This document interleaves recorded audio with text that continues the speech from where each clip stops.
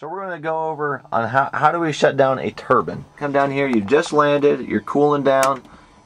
You're going to do a two minute cool down for this particular turbine. Okay, two minute cool down. By the time you get to your two minutes, this, the temperature should be between five to 600 degrees. Your gas producer should be idling between 62 and 67 percent. Oil pressure should still be in the green. Everything's looking good. So you've done your two minute cool down. Come down here, turn your generator off. So if you do have to motor the starter during the shutdown, you can do that. It's only one function. It's either a starter or a generator, not both at the same time. So you're gonna be at flat idle, obviously for the cool down since you're letting it cool down at idle.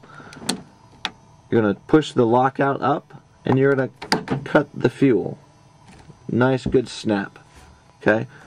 Snap snap it closed.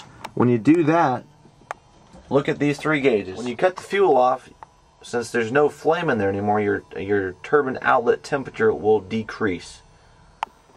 Your N1 will spool down, and your needle and your needles will split on your tachs. So cool down, spool down, needles have split. Now you're going to watch your TOT for an for a temperature spike. Temperature should continue to decrease. You should continue to spool down on your gas producer and the needle should continuously decrease on your tachs. Um, look for a temperature spike in your your your exhaust temperature, your outlet temperature. Um, if there's a power spike, that's from the introduction of fuel accidentally. So in this case, you would, you know, keep the fuel turned off, but you would press the starter button so it would sucks in nice, clean, cool air, and it gets all that that the heat out of the turbine itself.